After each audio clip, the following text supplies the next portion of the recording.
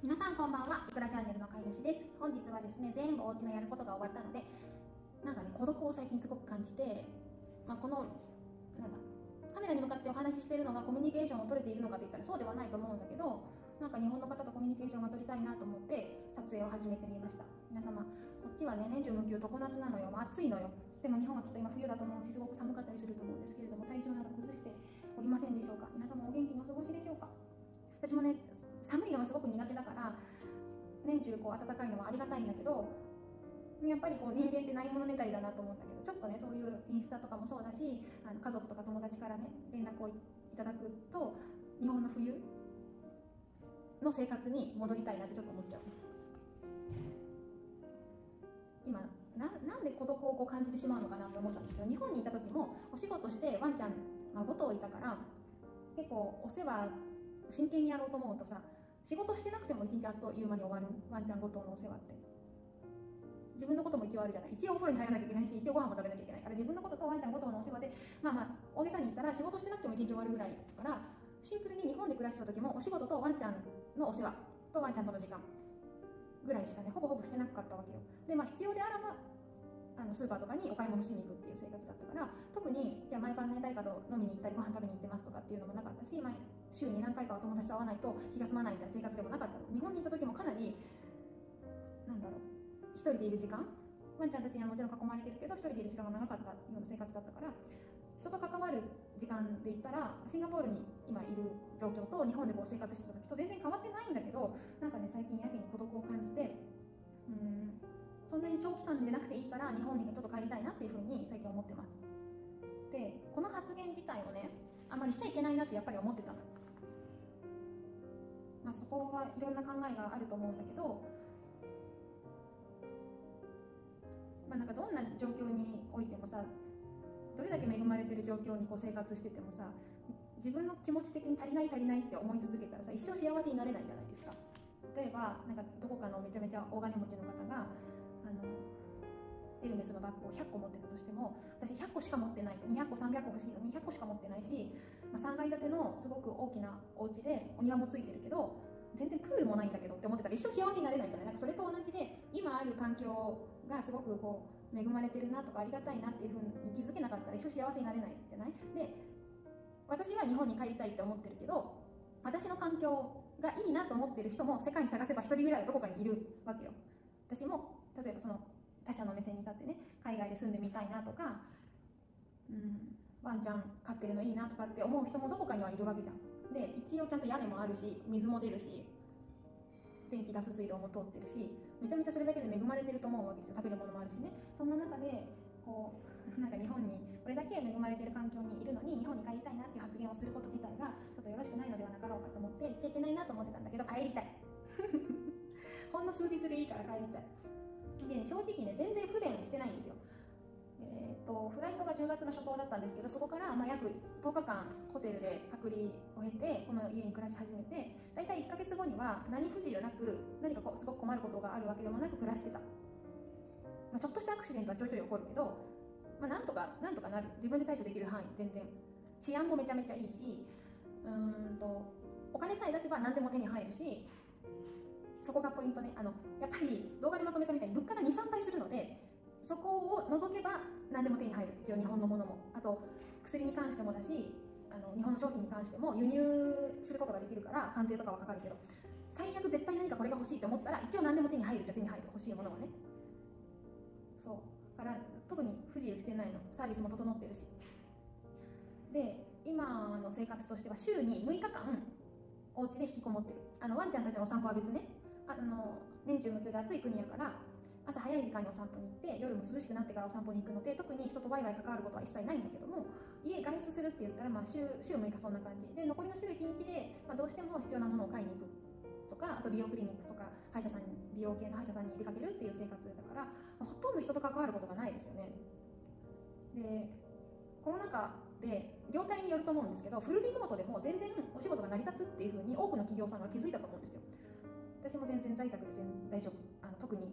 むしろリスクを取る取らないようにまあね社員さんの迷惑にならないように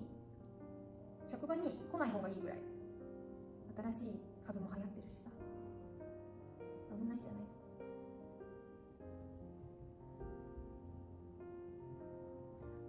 このさ特にさパリ私パリピじゃないからさ多くの人と関わりたいとか毎日毎日遊びに行きたいとかっていう気持ちはないにもかかわらずこの孤独感はどういうふうにしたら拭えるんでしょうかね。かわいいね私たちはま、一瞬かもしれない。なんか30分ぐらいしたら落ち着くかもしれないです。特に悩んでもないの。結構スーパーメンタル強いしプラチナポジティブだから。で何かこうアクシデントが起こった時にその時できる最大限のことでもうほぼ決まってるじゃないですか。もうよっぽどのアクシデントじゃない限りね。だから特にね悩んでたりとか落ち込んでたりするっていうことは一切ないんだけど。実家に帰りたいかな。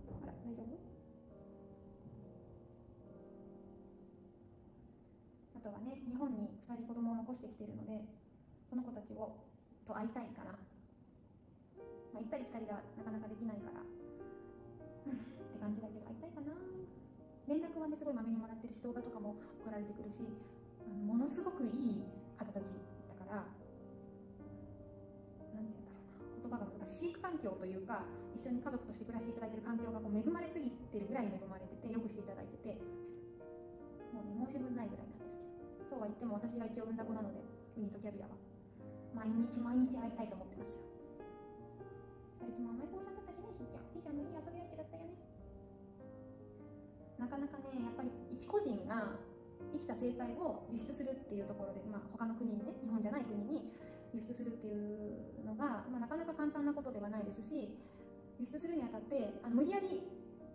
それ以上の数連れてくることはできるんですけど基本的にマックス3頭かなマックス3頭でそれ以上の場合は、まあ、違う手続きが必要だったりする。ななんかあのワンちゃんの輸出の手続きの動画をまとめようと思ったんだけど輸出まあ、一緒にねワンちゃん連れてくるって決めた時に書類を検疫通すための書類を作るんだけど書類の量がとにかく半端ない量だったのね。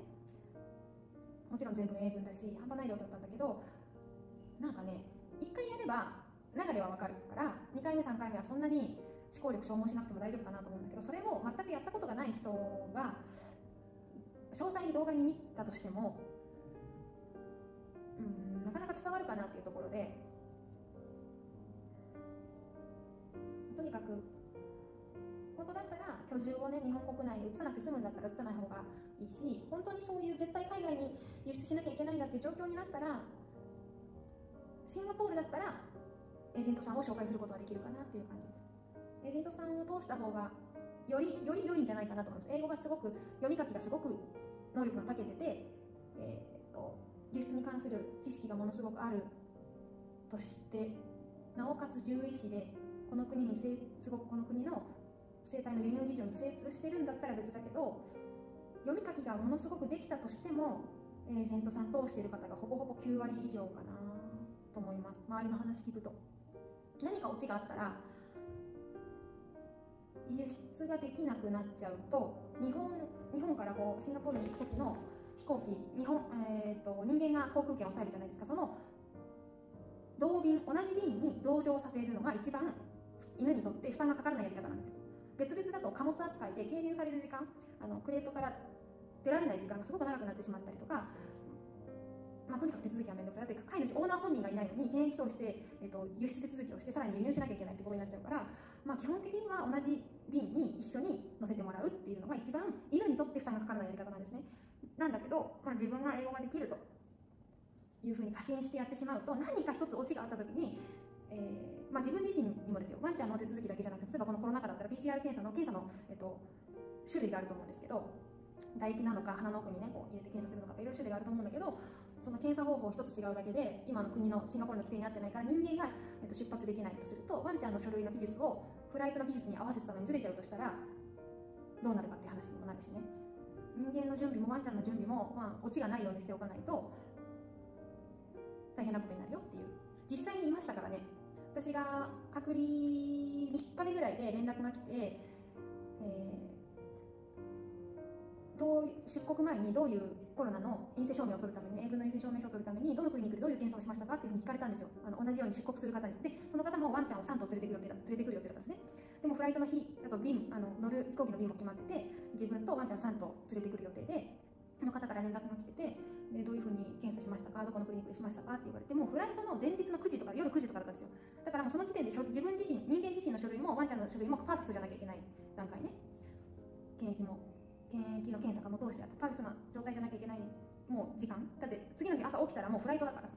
で連絡が来ていやここのクリニックでこういう検査を受けて何時間後に陰性証明書を取りましたよっていうふうに返したんですよあそうそう何時間後に陰性証明書を取りました。なぜなら今シンガポール政府が、え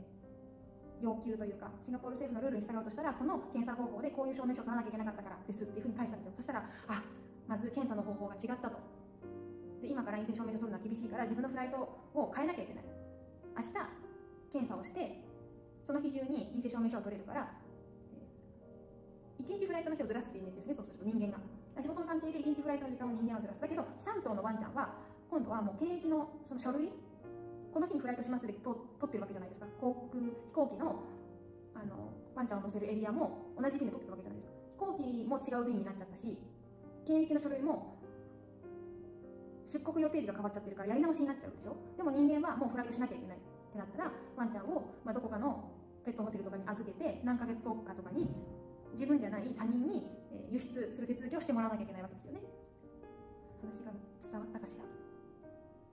そう。だからもうえらいことになっちゃうわけ。実際そういうことはあるあるですよ。コロナ禍だからなおさらっていうのもありますね。あの日本もそうだし、まあ、世界いろいろそうだと思うんだけどコロナの状況によって国のルールがどんどん変わってくるのでそこに合わせてこちらも準備をしなきゃいけないというところで確認不足だったりするとあれ？1週間前はこの検査方法でいいって言ってたのにフライト3日前になって検査方法要求が変わってると。じゃあそこに合わせて自分も検査していかなきゃいけなくなっちゃうわけだね。なおさら自分以外の命を預かっているのであれば人間自身はミスったらもう終わりなわけですよ。そう。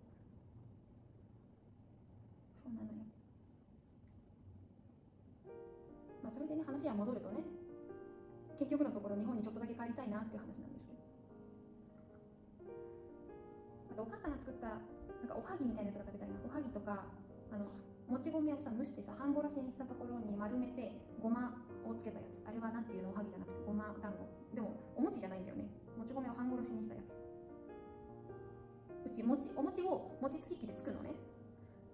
で蒸し上がった状態のもち米をのちょっと半殺しにするような大きい鍋があるんだけどそこに餅つき機で蒸し上がったもち米を開けてちょっと半殺しにしてこれぐらいの一口大に丸めてごまをつけたやつがあるんだけどそのごまのやつが食べたい。もう太るとか全然気にしなくていいって思っていっぱい食べたい。10個とか20個。なんかインスタグラムの写真とか見てるといやいや嘘だろうって思うと思うんですけど年中無休で一応ダイエットをしてるんです一応ねダイエットをして。そうなのよ。ケーキとかはなるべく食べないようにしてるしなるべくねいただいたりとかお付き合いとかがあったら別なんだけどあと糖質が高いお酒は基本的に飲まないようにしたりとかカロリーが高いお食事をとったらその次の日で帳尻合わせしたりとかあと毎日半身浴をして大丈夫ですか？息ができないですか？大丈夫ですか？ああ大変大変。大変大変。大変大変大変。大丈夫ですか？大丈夫ですか？ちょっと待ってくださいね。はいはいはいはい。はいはいよいしょ。ダイエットの話なんてしてる場合じゃなかったですね。息ができなくなってしまいましたね。大丈夫ですか？大丈夫ですか？びっくりしましたね。まあすやすや寝てたんですけどね。いきなりちょっと息ができなくなったみたい。びっくりしましたね。このさ今みたいな症状って何て言うんだろう。一回ね獣医師さんにも相談したんだけどうーん。なんか特に治療のあれはないって言われて帰ってきたんだけど今の症状って一体何ていう症状なんですかね？聞こえました？音声入ってるかな？入ってるかどうかわからないけど。抱っこしてあげたりとかちょっと楽な姿勢にしてあげたりとかあともうどうしても息ができなそうな時はタレちゃんに申し訳ないんだけど口を開けてね息できるようにしてあげたりとかすると少ししたら落ち着くんだけど。大丈夫でしたかね？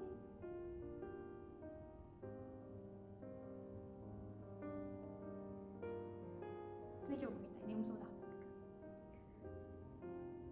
ていうのかなこれは。グフグフグフグフなっちゃうの。うちのね子供たちの中ではタラだけなんですよ。心配だよお母ちゃんは。そうそれ。でね結構ねずっと継続的にダイエットをしているわけです。あと7キロぐらい痩せたいな。身長は、えー、と16345ぐらい。調子よくて5ぐらいかな。なんでそんなに振れ振り幅があるかっていうとさ今レーザーとかあと自動でこうカクンって測る身長計とかたくさん出てるんですけど昔の身長計ってあるあの普通に人がこうやってやるやつ。であの、ね、看護師さんとかって身長の測り方もちろん勉強するはずなんですけど私が勤めてた会社職場の提携してるクリニックさんに毎回健康診断に行ってたんだけどその提携してるクリニックさんの看護師さんの年齢が結構年齢層が高くてですね若くてでもあまり年齢のこととか言うといけないのかな。私がね身長を測っていただいてた方は多分65手前とかだったと思います。のちっちゃいちっちゃい方。身長が小さい方で、えっと、毎回私のあの頭頂部を潰しにかかるんですよ。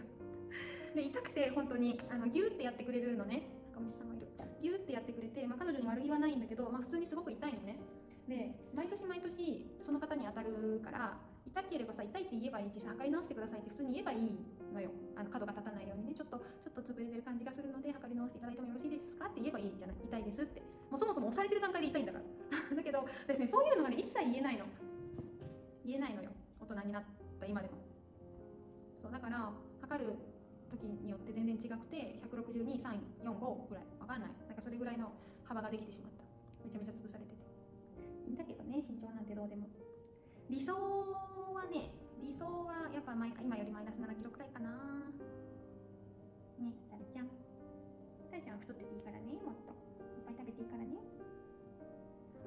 さいろんな我が家いろんなフードを試してもちろん手作り食も試してさ結構たくさん食べさせてるのね。おやつもたくさんあげてたりするんだけど、まあ、運動量が多いって言えばそれまでになっちゃうんだけどね。タラちゃんはねあんまり太れないのか太らないのか分かんないんですけどそんなに太らないんですよね。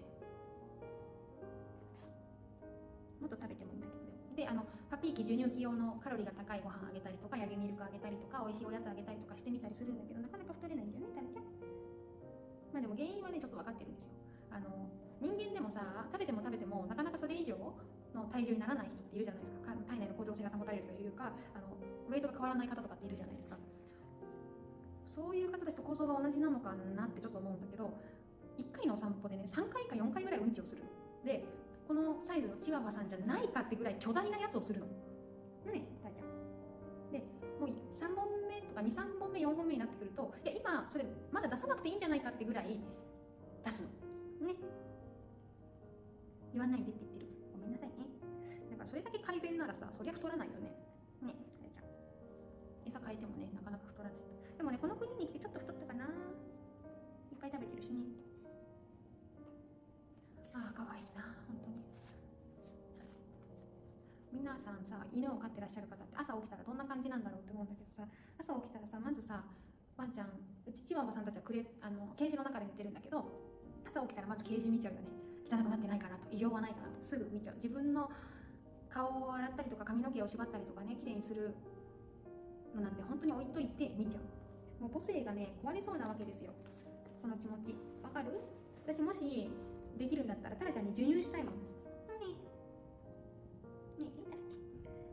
ら一緒に寝たい。なんだけどね最近はいくちゃんとべったりで夜はね時間になるとケージの中に入っていっちゃって一緒に寝てくれないのね夜だけ。お昼は一緒に寝てますよ。お昼寝は一緒に寝るね。多分プレートの中とかが日本から持ってきたちっちゃめのクッションケージの中に入れてあるのですごく匂い的に落ち着くのか。何回か洗ってるんですけどねシンガポールに来てからも落ち着くのかわかんないんだけど夜になるとその中に入ってねんでしちゃうんだよね。タラちゃん